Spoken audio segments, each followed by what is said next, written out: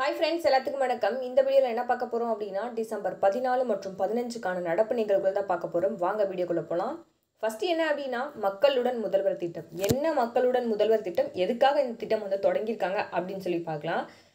இந்த திட்டம் வந்து மக்களுடன் முதல்வர் திட்டம் டிசம்பர் பதினெட்டு எங்கே தொடங்க இருக்கிறதா சொல்லியிருக்காங்க அப்படின்னா கோவையில் வந்து தொடங்க இருக்கிறதா சொல்லியிருக்காங்க. நோட் பண்ணிக்கோங்க டிசம்பர் பதினெட்டு மக்களுடன் முதல்வர் திட்டம் எங்கே தொடங்கப்பட இருக்கு? கோவையில் வந்து தொடங்கப்பட இருக்குது சரி இதோட நோக்கம் என்னப்பா அப்படின்னு பார்த்தீங்கன்னா அரசோட சேவைகளை மக்கள் வந்து விரைவாகவும் எளிதாகவும் இப்போ அரசு ஏதாவது சேவை நமக்கு பண்ணுற இருக்கிறதானா அது வந்து ஈஸியாக போயிட்டு மக்களுக்கு வந்து சென்றடைகிறதுக்காக தான் என்ன பண்ணுறாங்க அப்படின்னா மக்களுடன் முதல்வர் திட்டம் வந்து தொடங்க இருக்கிறதா சொல்லியிருக்காங்க. டிசம்பர் பதினெட்டு எங்கே அப்படின்னு பார்த்தீங்கன்னா கோவையில்.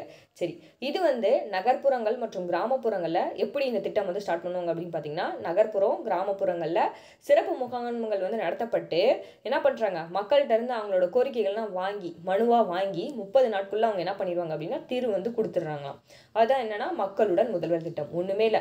மக்களுடன் முதல்வர் திட்டம் அதாவது மக்களுக்கு அரசு என்னென்ன சேவை பண்ணுறாங்க அதெல்லாம் ஈஸியாக போய் சென்றடைகிறதுக்காக என்ன பண்ணியிருக்காங்க தான் மக்களுடன் முதல்வர் திட்டம் வந்து ஸ்டார்ட் பண்ணியிருக்காங்க எங்கே தொடங்க இருக்கிறதா சொல்லியிருக்காங்க அப்படின்னா டிசம்பர் பதினெட்டு கோவையில் நம்ம தமிழ்நாடு முதலமைச்சர் தொடங்கி வைக்க இருக்கிறதா வந்து சொல்லியிருக்காரு நம்மளோட கோரிக்கைகள் ஈஸியாக வந்து சிறப்பு முகாம்கள் மூலயமா நம்ம வந்து மனு கொடுத்தோம் அப்படின்னா நம்மளோட கோரிக்கைகள் நிறைவேற்றப்பட்டு முப்பது நாளுக்குள்ளே அவங்க வந்து தீர்வு வழங்கப்படும் அப்படின்னு சொல்லி இந்த திட்டத்தில் அறிவிக்க இருக்கிறதா சொல்லியிருக்காங்க. சரி அடுத்தது என்ன அப்படின்னு பார்த்தீங்கன்னா புகை குப்பிகளை வீசி தாக்குதல் நடத்திட்டாங்க. சரிப்பா புகை குப்பிகளை வீசி யார் தாக்கல் தாக்குதல் நடத்தினாங்க எங்கே நடத்தினாங்க அப்படின்னு சொல்லி பார்க்கலாம் சரி வாங்க பார்க்கலாம் இப்போ ரெண்டாயிரத்தி ஒன்று டிசம்பர் பதிமூணு என்ன பண்ணியிருப்பாங்க அப்படின்னா பதிமூணு பழைய நாடாளுமன்ற கட்டிடத்தில் தாக்குதல் வந்து நடத்த நடத்தப்பட்டிருக்கும். எங்கே? டிச ரெண்டாயிரத்தி ஒன்று டிசம்பர் பதிமூணில் த நாடாளுமன்ற கட்டிடத்தில் என்ன பண்ணியிருப்பாங்கன்னா புகை குப்பைகளை வீசி தாக்குதல் வந்து நடத்தினாங்க ரெண்டாயிரத்தி ஒன்று டிசம்பர் பதிமூணில் அதில் ஒம்பது பேர் வந்து இறந்துட்டாங்கப்பா. அது அந்த தினத்தை வந்து அந்த தினத்தை வந்து நினைவு தினமாக அனுசரிச்சிட்டு இருக்கும்போது என்ன பண்ணுறாங்க அப்படின்னா புதிய நாடாளுமன்ற கட்டிடத்தில் மக்களவையில் ரெண்டு நபர்கள் உள்ளே வந்து என்ன பண்ணுறாங்க வண்ண புகை குப்பைகளை வீசி தாக்குதல் நடத்து முயற்சிக்கிறாங்க. அதே மாதிரி வெளியே ரெண்டு பேரும் என்ன பண்ணுறாங்கன்னா தாக்குதல் நடத்த முயற்சிக்கிறாங்க. இதை வந்து என்ன பண்ணுறாங்க அப்படின்னா நம்ம காவல்துறை அதிகாரி யாருன்னு சொல்லி அந்த அவர்களை வந்து கைது பண்ணிட்டாங்க. இதில் இன்னும் யார் யார் ஈடுபட்டிருக்காங்க அப்படின்னு சொல்லி அவங்களையும் கைது பண்ண இருக்கிறதா வந்து சொல்லியிருக்காங்க. ஒன்றுமே இல்லை. ரெண்டாயிரத்தி ஒன்று டிசம்பர் பதிமூணு என்ன பண்ணால் புகை குப்பிகளை வீசி தாக்குதல் நடத்தினாங்க. அதில் வந்து ஒம்பது பேர் மரணம் அடைஞ்சிட்டாங்க. அந்த தினத்தை நம்ம அனுசரிச்சிட்டு இருக்கும் போது என்ன பண்ணுறாங்க அப்படின்னா இன்றைக்கி இன்னைக்கு என்ன பண்ணுறாங்க டிசம்பர் பதிமூணு என்ன பண்ணுறாங்கன்னா புகை குப்பிகளை வீசி திருப்பி தாக்குதல் நடத்துறாங்க. அவங்கள கைது கைது செய்துட்டாங்க அந்த தகவலை தான் இங்கே வந்து சொல்கிறாங்க சரி. அடுத்தது என்ன அப்படின்னு பார்த்தீங்கன்னா தெலுங்கானால பழங்குடியினர் பல்கலைக்கழகம். என்னப்பா தெலுங்கானால பல் பழங்குடியினர் பல்கலைக்கழகம்? எதுக்காக தெலுங்கானால பழங்குடிகள் பல்கலைக்கழகம் வந்து அமைக்கிறாங்க அப்படின்னு பார்த்தீங்கன்னா பழங்குடியின பெண் தெய்வங்கள் தான் என்ன அப்படின்னா சமக்கா சமக்கா மற்றும் சரக்கா. இப்போ அந்த பேர்லயே இவங்க என்ன ஆனா சரி நம்ம பல்கலைக்கழகம் வந்து அமைச்சுக்கலாம் அப்படின்னு சொல்லி சொல்லியிருந்தாங்க. அதுக்கு ரெண்டு நாடாளுமன்றத்துலேயும் சரி மக்களவையிலையும் மாநிலங்களவையிலையும் அந்த மசோதா வந்து பாஸ் பண்ணியிருப்பாங்க அது வந்து நிறைவேற்றிருக்கு. சரி பழங்குடினா மக்களவை பழங்குடியினருக்கு ஒரு பல்கலைக்கழகம் தெலுங்கானாவில் அமைக்க இருக்கிறதா சொல்லியிருப்பாங்க. அதுக்கு மக்களவையிலும் மாநிலங்களவையிலும் அந்த மசோதா வந்து நிறைவேற்றப்பட்டுச்சு. அவ்வளோதான் இதில் இந்த தகவல். சரி அடுத்தது என்ன அப்படின்னா நாலாவதா போலந்து நாட்டோட புதிய பிரதமராக யார் வந்து பொறுப்பேற்றிருக்காங்க அப்படின்னு பார்த்தீங்கன்னா டொனால்ட் டஸ்க். போலந்து நாட்டோட புதிய பிரதமராக யார் பொறுப்பேற்றிருக்காங்க அப்படின்னா டொனால்ட் டஸ்க். போலந்து நாட்டின் புதிய பிரதமராக யார் பொறுப்பேற்றிருக்காங்க? Donald Tusk. சரிப்பா அடுத்தது என்ன அப்படின்னா சர்வதேச tennis hockey of fame.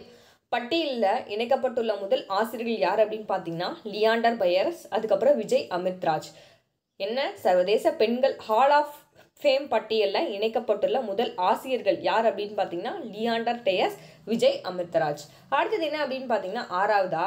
அனிண்டீம் Panghal என்ன இந்த அனிண்டீம் பங்கல் அப்படின்னு பார்த்தீங்கன்னா சிறந்த மல்யுத்த வீராங்கனைக்கான ரைசிங் ஸ்டார் விருது யார் வந்து வாங்கியிருக்காங்க அப்படின்னு பார்த்தீங்கன்னா அன்டீம் பங்கல் வந்து வாங்கியிருக்காங்க. என்ன? சிறந்த மல்யுத்த வீராங்கனை தான் இவங்க. யார்? அன் அன்டீம் பங்கல் இவங்க வந்து என்ன வாங்கியிருக்காங்க அப்படின்னா ரைசிங் ஸ்டார் விருது வந்து வாங்கியிருக்காங்க. சிறந்த மல்யுத்த வீராங்கனையான அன்டீம் பங்கல் என்ன வாங்கியிருக்காங்க அப்படின்னா ரைசிங் ஸ்டார் விருது வந்து வாங்கியிருக்காங்க. எந்த நிறுவனம் சார்பில் வந்து வாங்கியிருக்காங்க அப்படின்னா எந்த அமைப்புலேருந்து வாங்கியிருக்காங்க அப்படின்னா யுனைடெட் வேர்ல்ட் ரிஸ்டிங் அமைப்புலேருந்து தான் என்ன பண்ணியிருக்காங்கன்னா இந்த விருதை வந்து வாங்கியிருக்காங்க. சரிப்பா அவ்வளோதான் சரி ஒரு ரீகேப் பார்க்கலாம். எப்படி ஃபஸ்ட்டில் இருந்து அப்படின்ட்டு. பாருங்க.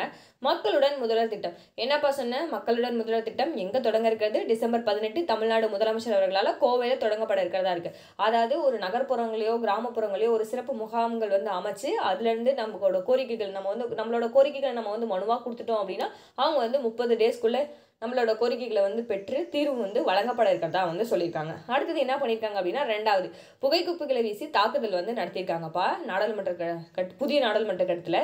இப்போ என்ன பண்ணாங்கன்னா ரெண்டாயிரத்தி ஒன்று டிசம்பர் பதிமூணில் நாடாளுமன்ற கட்டிடத்தில் புகைக்குண்டை வீசி தா புகைக்குப்பிகளை வீசி தாக்குதல் நடத்தினதில் ஒன்பது பேர் வந்து மரணம் அடைச்சிட்டாங்க அந்த தினத்தை நம்ம அனுசரித்துட்டு இருக்கும் போது என்ன பண்ணுறாங்க மேலும் சில பேர் உள்ளே வெளியே இருந்துட்டு ரெண்டு பேர் புகை குப்பிகளை வீசி தாக்குதல் நடத்துனாங்க. அந்த நாலு பேர்த்தையும் வந்து இப்போ கைது பண்ணிட்டாங்க. மேலும் இதில் யாரெல்லாம் ஈடுபட்டிருக்காங்க அப்படின்னு சொல்லி கைது பண்ண இருக்கிறதா வந்து சொல்லியிருக்காங்க. அடுத்தது என்ன அப்படின்னு பார்த்தீங்கன்னா தெலுங்கானால பழங்குடியினர் பல்கலைக்கழகம் வந்து அமைக்கப்பட இருக்கிறதா வந்து சொன்னாங்க. என்ன பேரில் அப்படின்னா சமக்கா மற்றும் சரக்கா. அதுக்கு மக்களவையிலையும் சரி மாநிலங்களிலையும் சரி அந்த திருத்த மசோதா வந்து நிறைவேற்றப்பட்டுருச்சு. அவ்வளோதான் அடுத்தது என்ன அப்படின்னா போலந்த் நாட்டோட புதிய பிரதமராக யார் வந்து பொறுப்பேற்றிருக்காங்க அப்படின்னு பார்த்தீங்கன்னா டொனால்ட் டஸ்க் வந்து போலந்த் நாட்டோட புதிய பிரதமராக பொறுப்பேற்றிருக்காரு. அடுத்தது அஞ்சாவதாக என்ன அப்படின்னு பார்த்தீங்கன்னா சர்வதேச டென்னிஸ் ஹால் ஆஃப் ஃபேம் பட்டியலில் இணைக்கப்பட்டுள்ள முதல் ஆசிரியர்கள் யார் அப்படின்னு பார்த்தீங்கன்னா லியாண்டர் டேயஸ் விஜய் அமிர்தராஜ் தான் இணைக்கப்பட்டிருக்காங்க. ஆறாவதாக என்ன தகவல் அப்படின்னு பார்த்தீங்கன்னா சிறந்த மல்யுத்த வீராங்கனை தான் யார் அப்படின்னா அண்டிம்பங்கல்.